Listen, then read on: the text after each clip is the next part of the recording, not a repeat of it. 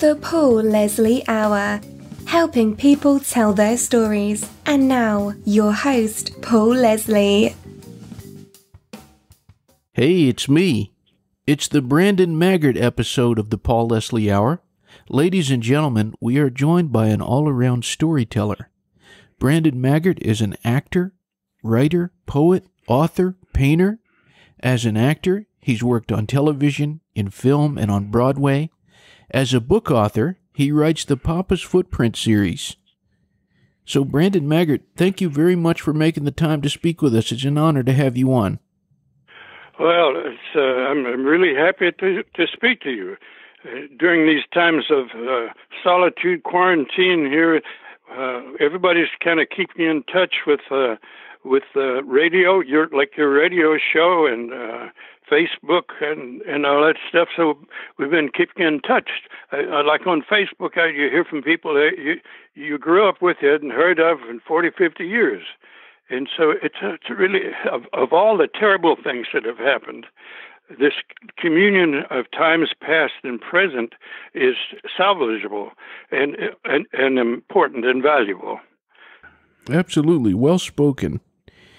So I put all these labels on you. I said that you're an actor, you're a writer, you're a painter.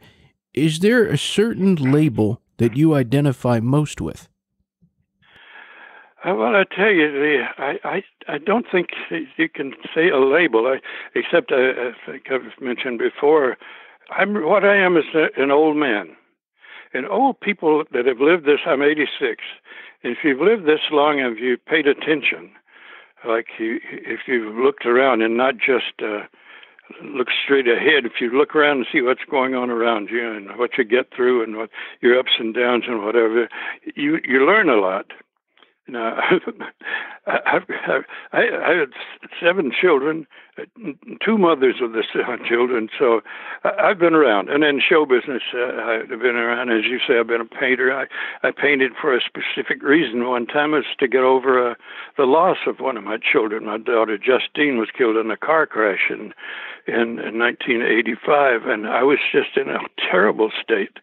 And uh, to I was doing a, actually lucky enough. I was doing a, a t- TV show, which was a comedy at the time called Brothers on Showtime, and but I, I went. I came. I went back to Connecticut to where she, the accident was, and her funeral. And I came back, and I, I was so little to no use on the show. I kept breaking down, crying, and and uh, during note sessions, uh, they would take notes and whatever. And I noticed I started doodling, and I started doodling a, a, a, for some reason, like a sketch of a of a joke that my mother had told me when I was like 12 years old. I and I kind of giggled to myself, "Why? How did that pop in there?" Well, that kind of led to something else. I ended up uh, going home and sketching a lot of stuff and make and uh, did like you know nearly 90 paintings. I did, and it, the point of that was to salvage with humor. I took that joke, which was funny, which was a little off color for a mother to be telling a 12 year old son about an old bull and a young bull looking down on the valley at the young at the young uh, heifers down there. And the young bull said, Let's go down there and have us one. And old bull, bull said, No, we'll walk down and have them all. so, so I, I, so I did a painting of that and a lot of other. So, so I have, they're all over my house, and I have three floors uh, uh, those paintings. And I did that all those in about a ten year uh, stretch. And I was on the art walk. People used to come in and out. We'd raise money for the Venice Clinic, and people coming in and out. And I would tell stories and look at them. And the point was to, to do it like a on one like like on one cell if you're to a, a film or something on on the, on a canvas uh, uh, what to paint would imply a story that you might have heard years ago. So if, if I put that that picture of the old bull and the young bull up on there looking down all these cattle, so people look and, and they look at that and say, nothing. And I say, well, this reminded me. And then I put put a have another up there, and they say, oh, that reminds me of a story that I, I heard about uh, in the Second World War. This old guy said about Oh yeah, the uh, the there, there's an airplane crashed down on on a desert island in the South Pacific there, and there like weren't there like four uh, people that the captain, the co-captain, and the gunner, and I navigator, and they're all gathered around, and they've they've eaten all their food, there, and they got down to one piece of cheese. And and they said, well, we look at one piece of cheese is not going to do anybody any good. Said, here's what we'll do we'll we'll we'll go to sleep and we'll have a we'll dream and we'll wake up and tell our dreams and one that that has the best dream gets to eat the last piece of cheese. Okay, so they all go to sleep, and they wake up the next day, and one tells his story. Oh, wow! I I had the greatest dream. I woke up and it was Thanksgiving. There was turkey and blah. blah. The other guy, I woke up and my mother and dad were there, and we sang songs. And the other guy, I woke up and blah blah blah. the last guy said, of course, back then you told jokes about Jewish and, or Irish, or, or you, made some sort of ethnic or religious point about each thing. And the last guy goes, he he said, oh, says well, I hate to tell you, I dreamed all you guys died and went to heaven, so I got up and ate the cheese. so, so I painted that. and anyway, the the whole point in all of this is humor, and now humor uh, uh, is always uh, laughter. Humor, laughter is a, a saving grace uh, that uh, that saves us all. Okay, I don't know. Could I get lost there somewhere? I don't know. No, no, no. I think you brought up a good point. And you know, during this time of everybody being stuck inside and, and not able to move about, not able to travel, you know, I, I can't, I don't think that you could put a dollar value on humor. No, not at all. Yeah and we miss and people are coming up with various ways now are scuffling around. Like as you mentioned before i've written a lot of books and i have a new one coming out we'll talk about probably later. But um, people are coming out about well I, should i read part of my book in installments on the thing to promote it get people interested? I don't know. So it, it, I, my book, books before were just print but I have, know, I have a number of fans, and they said, well, uh, "Brandon, you you should uh, should uh, uh, with your own voice tell tell the story of, of one on uh, uh on Audible. Uh, uh, Amazon has a branch called Audible, and uh, I mean you probably are books. You know, you can listen to, listen to Audible books. I don't, do you listen to books? Uh, I don't yeah. know. Yeah, sometimes I do. Yeah, well, they they're good. So I said, oh well, that sounds like a really good idea. So they, they said, well, look, so you can look in Audible and they have the books lined up, and you say, they sample.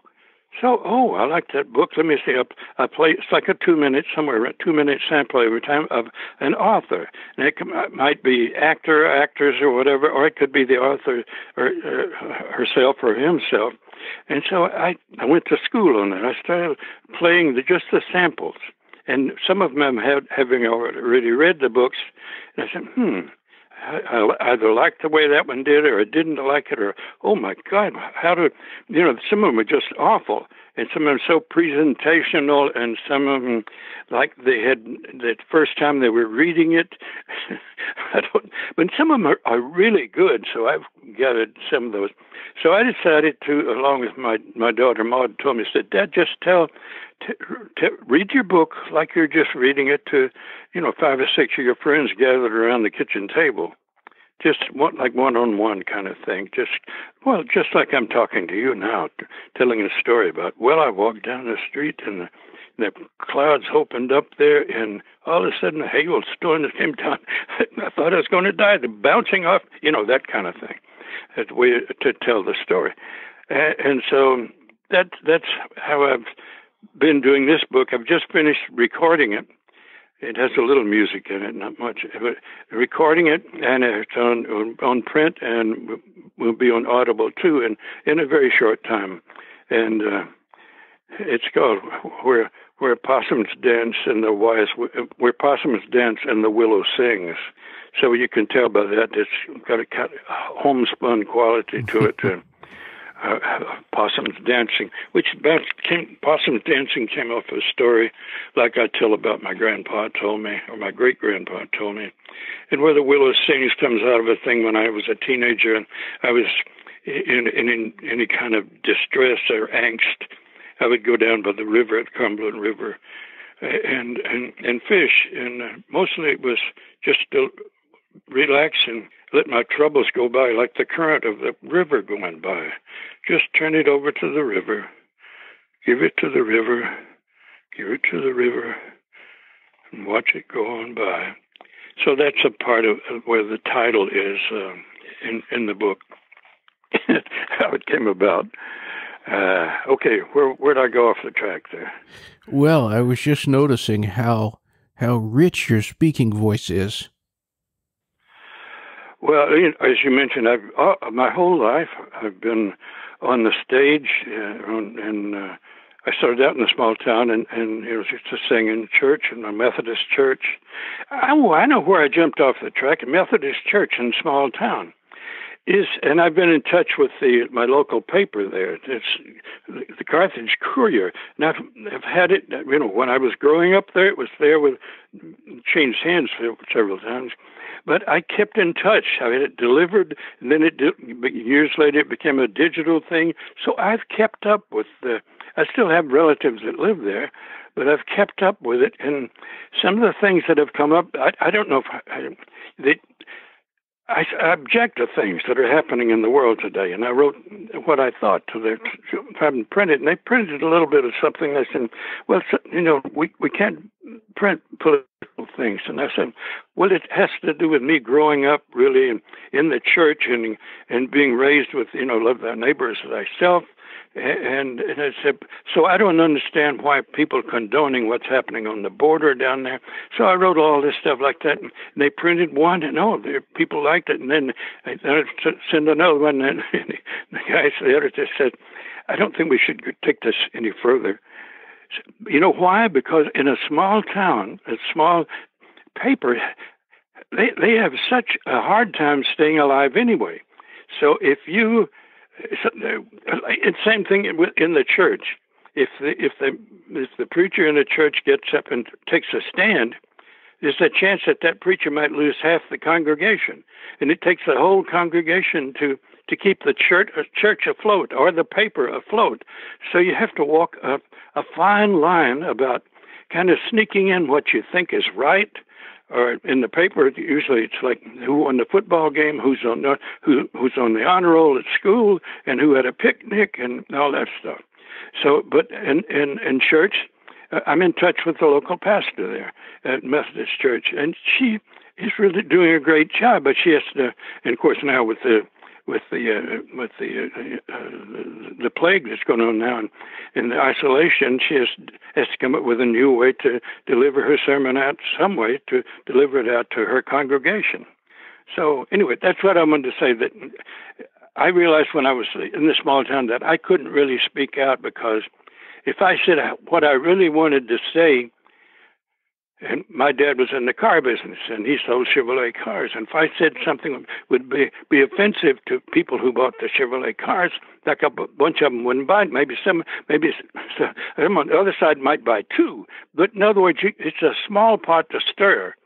So that and being able to sing and being acting and so forth, uh, I knew that I'd have more artistic freedom to be myself and write myself and and expose myself as uh, with authentically myself if I, I went to where uh, uh, the other people gathered like on the New York stage is where I, I, I migrated after college I I, I won some awards in, in college and uh, scholarships. And I was going to be on. A, I wanted to sing at the Met, but I ended up on Broadway for a while at our our waiting on tables you know that story. I said, "Oh, I'm going to." I told my wife at the time, "We already had a little baby girl." I said, "Okay." "It's going to take me at least two weeks to get a Broadway show." Well, I didn't get a Broadway show for several years later, and it opened and closed in one night.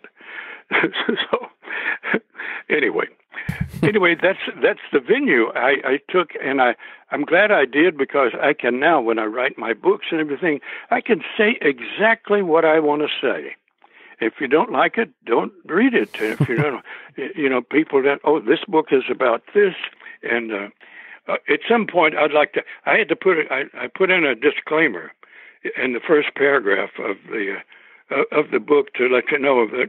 Well, it, you know, you might not be interested in the book unless you kind of identify with this. At some point, I'd like to read it. Read it to you. Absolutely. You can pick. Okay, it says. All right, I say.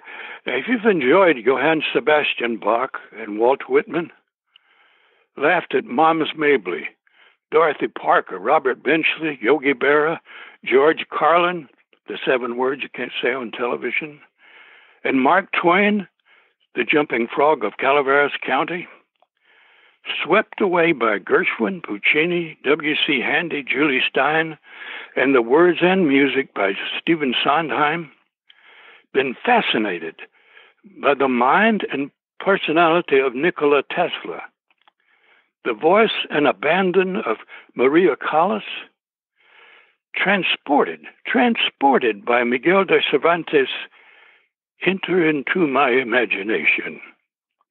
Enthralled with William Blake in seeing a world in a grain of sand and a heaven in a wildflower, bedazzled by the words and, and worlds of Gabriel Garcia Marquez's A Hundred Years of Solitude, found resonance with Vincent van Gogh, Salvador Dali, Henri Matisse, Edward Hopper, the loneliness of its nighthawks there, oh my goodness, uh, uh, are open to the concept of non local connections. You might come to live with me in Where Possums Dance and the Willow Sings, the full title of which is To Soar Aloft on Butterfly Wings, Where Possums Dance and the Willow Sings, off to the near side of the moon to see himself who I believe to be me. Okay, so if if they can look at that and they say, I don't think so, or they might say, well, this guy's going where I'd like to go. you know. So I, I I figure I better put that up front because I do take off and I write about so many different things, and my mind goes to places about creation And what is creation? I don't know if you know. One of the things stuck in my mind is Stephen Sondheim that says there's a song called "The Hat" about creating. Mm-hmm. What is it? A, a hat where there never was a hat, where there where there never was before uh, a hat, something like that. So creation, we consider creation down the line. We're we're in God's image. He created this. He created us to create. So down and and and I say that God has made some terrible blunders, and we are in His image, so we make some terrible blunders. So, but we try to uh, improve as one step at a time, uh, mistakes and, and, and adjustments, and all with the purpose of coming to, but probably never will become uh, to perfection. Like we can't. I don't get too too deep, but the scientists say, well, you can't square the circle. So what's up with that? you know, there's certain areas, and things that that are open, which you might say, well, that's that's that's where God left the, the area where you you should have faith.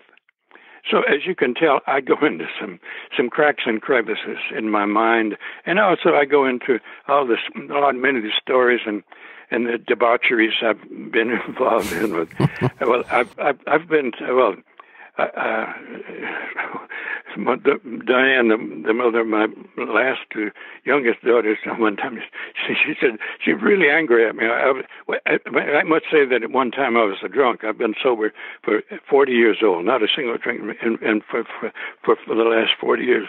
But uh, at one point she was yelling at me, and she said, "Call me, you second-rate Lothario." and I, I and, and I laughed, and she laughed. And It was really good. She nailed me. She said, "That was that was great." And then well, we laughed, and then, as I say, after that, it didn't go well. so, in other words, I have I put I tell the truth about myself, and that's what I, it's very hard to to be authentic. Um, I digress here, but my youngest daughter is, you know, Fiona Apple, just, and she is the epitome of, of authenticity. She tells heart goes into her soul, into her bottom, and it was like I say in my book, it's an archaeological dig into my id, and she just poof. And at one point, I said, Fiona, I don't, I don't know if I should write this because everybody. She said, Dad, don't ever let anybody tell you what to write and what you cannot write, as long as it's authentic to you. And so that's what I've done. so I learn from my children. They might pick up a few things not to do by by watching me, but by watching them and and, and uh, I'm watching my oldest daughter who lives with me now in Texas. She's a nurse, and she wrote something really a scathing thing about the uh, about the well the scene out here in, in California in the small like the nursing home things and the, and the uh, rehab things where the people are put in put in this like a, a petri dish of people put in there, and if one gets it, everybody's going to get it. Anyway, I'm so proud of her. She's not on, hasn't been ever on the, an actress or a singer, eh, but I'm so proud of her. Equally, you know, do you have children? I do not have any children. No. Well, you have a lot of listeners who are the, pretty much the same thing. Those are we're we're we're you are your children, so you you have to convey to us what you hear, what you think about, and share with us what what people you select to to to talk with you about on your show. So you're you're a, a papa of radio. You got that? Yeah. Okay. I'll take it. I'll take All that right. for the rest of my life. Well, that's it. You're responsible. You're presenting things, and you let people. T- you let me talk. God knows how many people have said, "I don't want to hear that. That guy's outrageous. I don't want to hear that." But so far, I'm still on the air. so anyway, uh, so okay, I have run aground here. So put me back on track. well, you know, you mentioning the newspaper there, it made me think about about your background, the University of Tennessee School of Journalism, which Right. I, I've been by there, and I'm curious to know what did learning about journalism do for your life? Okay, this is going to be a kind of this. I guess you can guess a circuitous route. I, I'd gone to Sewanee University, University of the South my freshman year and I played football there, and I kept getting knocked out. So I said, "This is not for me." I had three concussions, and so I transferred to UT. And and uh, what was available to me, I went, uh, I could sing and I could act, and and the nearest thing I said, well, journalism. It's writing about presenting things. So I, I looked at the, what's available. Oh yeah, on this. Well, drama they had listed uh, and music. So I, I jumped into that.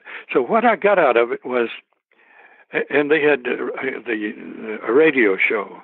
Uh, that so I, I got used I got on that several times where it was mostly played classical music and learned how to present that. There there also there was a local TV show that I was on several times where we uh, where we sang and just just like a local talent thing really.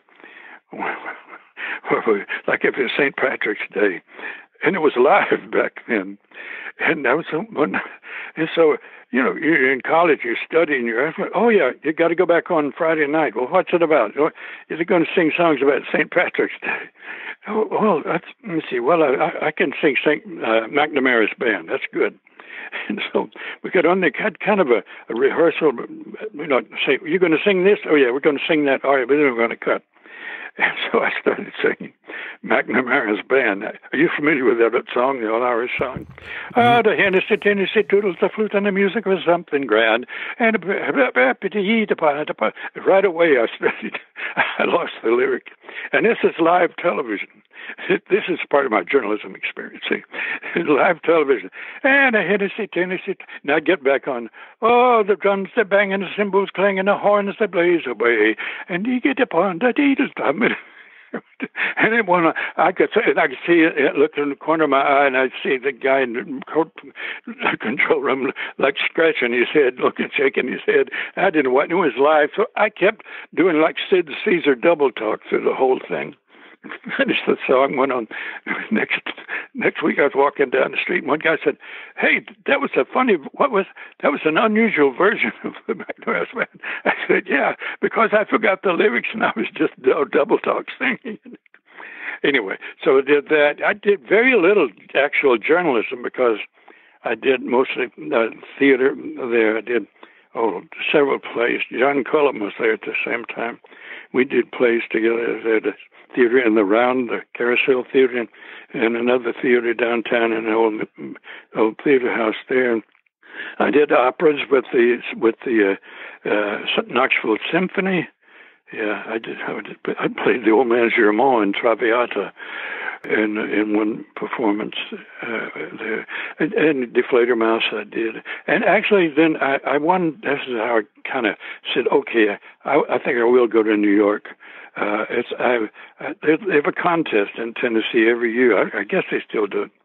Uh, the the, uh, the professional singers have a contest every two years, and uh, who wins it's a Grace Moore scholarship, and uh, and I won it and I won a scholarship to take my studies to New York. I said, well, and I, I, I, this is the end of the Korean War, and I was in the Air Force ROTC. I was going to go in as a pilot, but then at the end of the war, I'd, uh, they gave us another test, and I flunked the eye test, and they didn't need more pilots, so they wouldn't, they, they couldn't use me as a pilot, so they said I could go in as an officer or, or, or what? And they said, well, you can just walk away. So that's I, I left, went to New York as you can see, I do in my telling you stories. You're you're a genius if you can get me back on track. you're right on schedule. What about your first time performing? Can you tell us what that experience was like the first time you stepped on a stage? Were you nervous? What was that like for you? Okay, okay, I can tell you exactly. First time I sang in public was in my local church, and the Carthage United Methodist Episcopal Church, it's called now, and I sang the Lord's Prayer. And, uh, and you know, people knew love to hear me sing. As a matter of fact, I, I wouldn't talk too much on dates. I would sing. If I ran out of things to say, I, I would sing to my dates. so I was kind of a kook back then, and still am.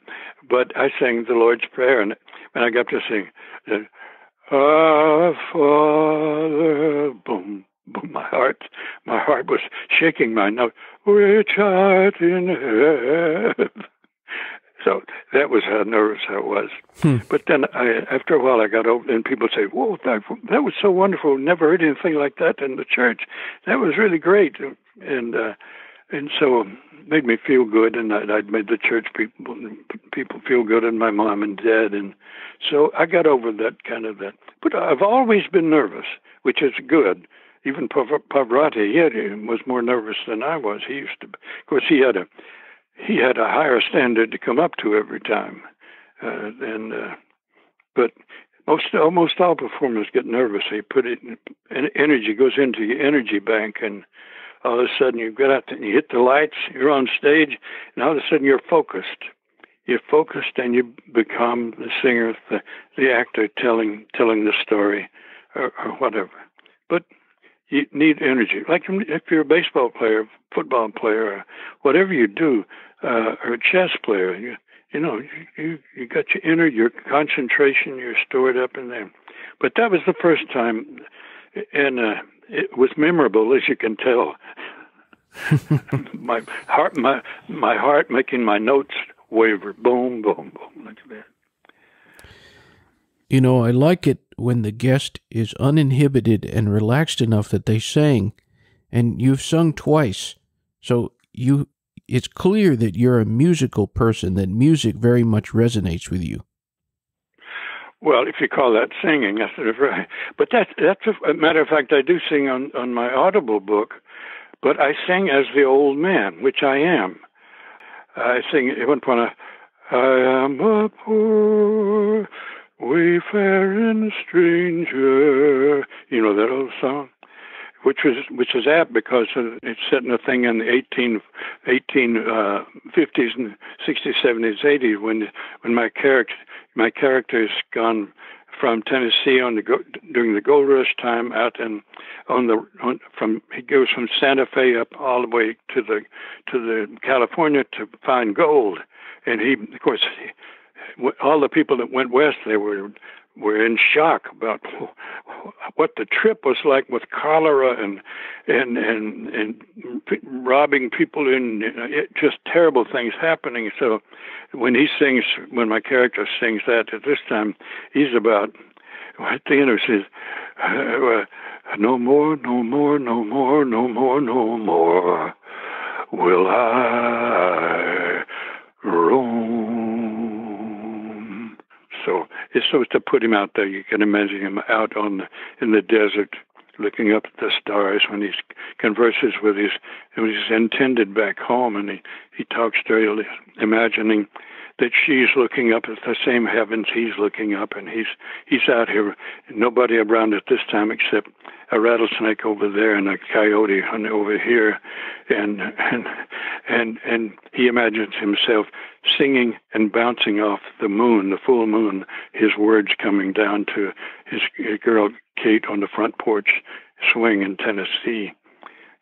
So anyway, that's that's that's a different kind of performing like on like on a Broadway stage or an opera. It's, it's conversational, but in, in with a melodic line and the intent of the song. But that's really the only kind of singing I do, and a little little different. A few songs. Okay.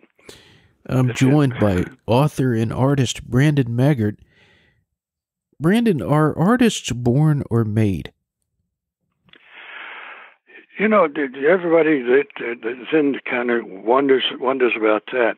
I think you're you're you're a fertile ground, and you have to. Uh, you, you, it's, when I wrote my first book, a friend of mine read it and said, "Oh, you should put it in a drawer and look at it some other time. Let it lie fallow." So, and I did, and and it uh, nourished itself, and anyway, it became you know six books. But you, you have, I I can remember like the first time I said, "Oh."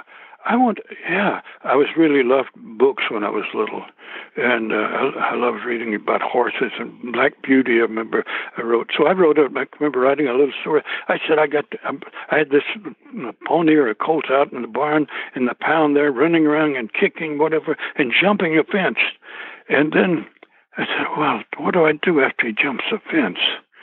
I have no idea. I haven't lived long enough to to know yet. So that's what's happened my whole life. I've after I jumped the fence, I've continued on and, and learning and coming to you know what the what I've run into along the way, what I what I've been knocked down by, what I've gotten up by, and and all that stuff. So you have that seed in the beginning of looking around and seeing what's this like, what's this world, what it's all about, and what's what do I have a position in this world, a place, a rightful place that's mine, authentically mine, and how do I nourish this? I don't want to present myself and telling you things I don't know and having to, but anyway, that I got to be 86 and I, I, people ask me, "Well, it must be awful to be that old." I say, "This is the happiest time in my life, the last like ten years, hmm.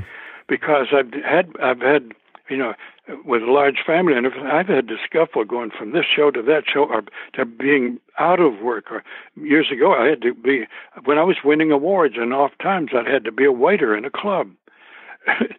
so you had to scuffle. Everybody has to scuffle in life, but once you hit a point, and like I say, I've saved my pennies, so I don't have to. And my kids are all grown and stuff. I help them when I can, but I have a place to live, and I have this. So I've had ten years. I've had okay now I'm presented.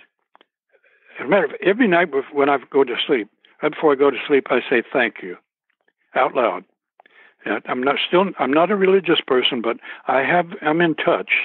I say thank you out loud, and uh, because it or the, the universe or God or what, whatever, I, I'm in touch with that without um, without somebody, a different various religions and beliefs and do's and don'ts or whatever.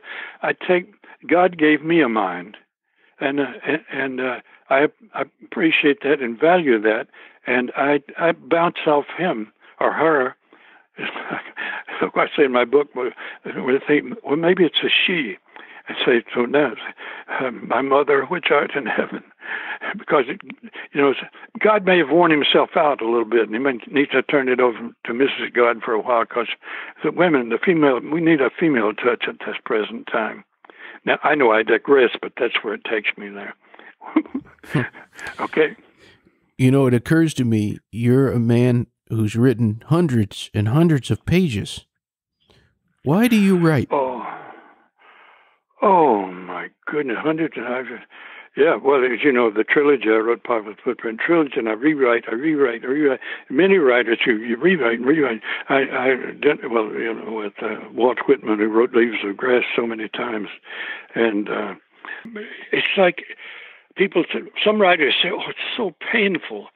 oh my but with me we'll wake up in the morning it's like oh boy i open i open the floodgates and here i come pouring out and this leads into that and that leads into this and this is over there and i go back to that then i go back to this and come up again it's shaping and i pull this out and that out and then people hear it they like it they identify with it and so i'm passing i'm ex- i'm exposing myself but there are people out there that you think you're unique not really. There's some people out there. Uh, I some one of my fans over there said, "I wish I could write like that." I said, "Well, you you understand what I write, so we're participating in this together.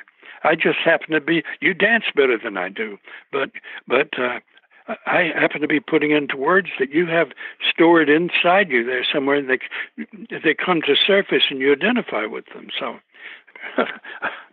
I go off again. That that was a very interesting perspective. I I really appreciate that. So, how do you define a successful artist? Oh, well, you want to take Vincent Van Gogh? Sold one painting, hmm.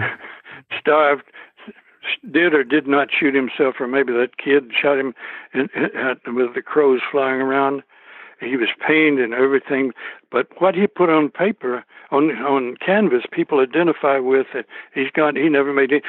And within this past year, it's like no, maybe within the past five or six years, one of his paintings sold for uh, an enormous amount of money which uh, you know like billion dollars i don't know some enormous amount of money it, but he never saw, he never made it you know a, dime or sold one little painting or something. I don't know if he sold it to his brother or, or what, but you just what makes an artist is you do your work. He wrote, he painted what was what he saw, what was in his mind. And if people want to identify with it at the time or poo-poo in it because it's not in step with the classical what's going on now, he didn't let that bother him. He painted what he saw. And so if you look at painters, the unique painters, some of them are, oh my gosh, I, I have no idea what they're doing. And people say, oh, I don't know what it's about, but I, I like it to look at it. That's some of that too. But there's sometimes you can boing, you can see, like I mentioned, uh, uh, Edward Hopper's uh, Nighthawks, uh, contemporary. You know, he's gone now, but painting. And you look at that, the three people in a diner in the early morning hours alone, sitting there, and the painting itself uh, says of the loneliness of people who go into an early morning diner and the the guy that runs it and so the waitress is standing there. The stillness of that, the picture of that goes sacco. It tells you exactly what's happening then. And the same with photography. When a photographers catch catch moments, glimpses, candid shots of invaluable things that have happened so again, I go off. So what did I say? Anybody can go to your website. It's brandonmaggart.com. Well, let me let me let me let me let me stop you there. Now it's it's there, but it's really outdated. You can go there and see a little bit. There are references there, yeah, but it's it's really out of date. There's some old clips and old things in there. You can go and investigate. Believe me, it's going to be improved once this. Go back and refurbish it, but it is there. BrandonMaggart.com. Yeah. That's M A G G A R T. Right. It's it's yeah, B R A N D O N M A G G A R T. Uh, I mean, uh, uh, uh, dot com. Brand, dot com. It says what? It it says actor and author, and I gave I gave all of these different titles to you, but who? Well, that was written in you know, in a hurry back several years ago. I just haven't gone back to to to redo that thing because I'm constant. I have been constantly on the move and rewriting and improving what I've written and everything. So again, you could go back through there, like I say, you could go back through an archaeological dig if you want to. But if you really want to catch up or whatever, and there are a lot of things from those books, stories I tell stories I tell in those books, which come out in this book I'm telling, and it makes an, uh, uh, I describe it as a, a fugue. I mentioned uh, um, uh, Bach. It starts, I'm like I'm a cello part in the beginning of a fugue, and the family and friends and children know for weave in and out to come to, at the end, hopefully, to a resolve at the end. Absolutely. So, who would you say Brandon Maggart is at heart? I'd say Brandon Maggart is an open heart, looking and watching, observing, and trying his best, like the uh, the Hippocratic Oath the doctors take, to to not harm people, to be of use, to give people some identification, laughter. That's that's too long, but you get the essence of what it is. It's it's not fake. It's me, authentic. At the end of my shows, I always like to give the guest the stage, and this is totally open ended. What would you say to anyone tuned in? I would say if you, if you listen to our conversation and we've held your attention, that's what we set out to do. And and I've been given the chance to open up here. But uh, uh, sometimes you're not given a chance to to really express yourself. And even now, I've been given the open end here to to say things, which I think I've already done all the way through the show. But I, if if I'm given the open end, I can just say, now you can cut this out if you like to, because uh, if you become political these days, it's it's not. But I, I we're in such terrible trouble. Terrible. I, no, I can't do this because I've. I can't because, as I say, I have friends. It's like the war between the states, brother against brother, and uh, up to it's like I, I try to have a conversation with uh, with with Republicans that I know and love, but it's it's I say it's like two stumps arguing. It's that cognitive dissonance. If one believes a certain thing, and this is what cognitive dissonance is, if you're ingrained with that, if you grew up in that, uh, I grew up on my mother's knee with with uh, whatever church, Baptist, Baptist, whatever in mind, and that's how I am. And I grew up in a Republican, and I, it, it too much government's not a good thing. Or if you grew up the other way, said I, I grew up more with the church and listened to what Jesus said about sharing and kicking the money lenders out of the, uh, you know that. So, but you have you have a bridge in between that you can. Uh, um, hopefully uh, build a bridge, bridge. Oh my God, I must try to scroll down to a thing I wrote at the very end. Uh, sorry. I'm, while I'm talking here, I wrote some, something at the very end. I think you should. I'm going to read a poem. It's a counterpoint to to uh, Walt Whitman's Song of Myself. But here it is. It's what I wrote. I as you and you as I listen. Observe question, challenge, weep fully without shame, laugh to rouse the near dead, love with every ounce of being, lust with fire of urgency, repent, and celebrate as the ever recurring sun sets in the west with its beauty and reassurance to calm the frightened beast within. We watch from the shoreline as crowds gather alongside to see the splendor and wonder of it. A sinking, a brief flash, the resolute change, until once again we meet and gather as did our parents and their parents and all who lived before. I hereby venture that the only surefire thing in this world is the rising of the sun in the east and the setting of the sun in the west. The evolvement is impressive. But what does it mean? The question is addictive. For sweet balm, harmonies waft unannounced on the autumn breeze to comfort the beleaguered soul we breathe a brief respite. On the instant, challenges spring as poisonous ivies, as energies rise and wane with the tides of experience flailing and confused, we persist. We tell stories. We laugh. Oh God, we laugh. We laugh. We rise and face the coming east. Rivers round bends, possums dance, and wise willows sings honeysuckle and the smell of freshly turned soil. All sing of this, this song of ourselves. Okay, that's about it. That kind of sums it up. Wow, okay? that was that was great. You know, when you do it, I'd love to have you send me a copy of what you finally air. Absolutely, because you've given you have given me the wonderful time and and space to to uh, honestly say. You, with your questions, have been open and given me the space to do uh, it, have been invaluable to me and hopefully to your audience and you. Well, thank you for saying that. I really appreciate it.